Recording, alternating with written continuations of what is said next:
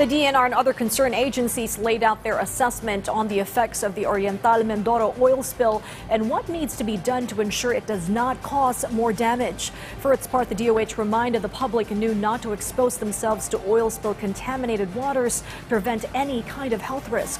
Rod Lagusad has more.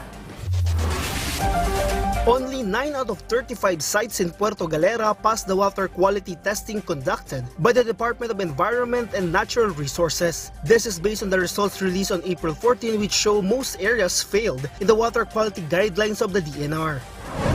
Kailangan po magkaroon ng pag-aaral, uh, i-analyze yung water quality dahil based po sa aming mga beta results, uh, yung lugar ng Puerto Galera, based sa mga ating stations, talagang medyo talagang hindi na rin maganda ang water quality even before the oil spill.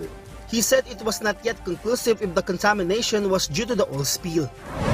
Ang usapin po natin sa Philippine Coast Guard ay kailangan po mag-undertake pa ng fingerprinting para malaman po natin talaga yung mga oil spill na nandun sa Puerto Galera ay nanggaling po dun sa vessel. On the question of the possibility of a ban on the tourism site, Environment Secretary Maria Antonia Yulo Loizaga said at the Malacanang press briefing on the decision on the governance of this risk, ano po, this is really uh, a decision really and a pronouncement that the DOH um, will have to make. And of course, the local governments uh, will hopefully also take uh, take uh, notice of this po. She said the effect of the oil spill was lessened because of the natural spill booms developed by the LGUs which are effective in absorbing the oil and diverting it. In the joint statement of DENR and Department of Health, DOH advised the public to refrain from consuming water from the affected areas. This also includes water-related occupational activities such as fishing and seaweed farming and recreational activities. The department also reminds the public to avoid eating contaminated fish, shellfish, and other seafood products. DOH warned that it may cause adverse effects on human health. Health officer in charge under Secretary Maria Rosario Vergere emphasized that they will not wait anymore for more tests because the tests they obtained are already accurate.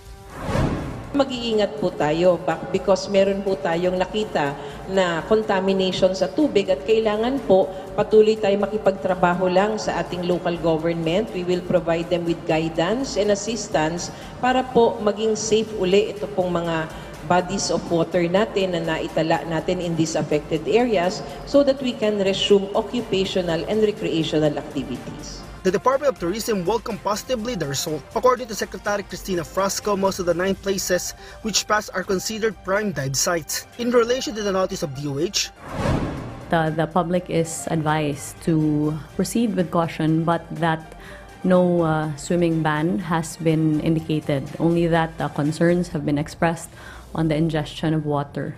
And therefore, uh, our perception of uh, this joint statement is that uh, the Puerto Galera tourism continues to be open. The secretary added, There has been no direct um, attribution um, in terms of uh, the direct source of the findings considering the presence of other human and uh, economic activities in Puerto Galera. She also said that the DOT supports DENR and DOH as well as the provincial government of Oriental Mindoro. Rod Lagusad for the Nation.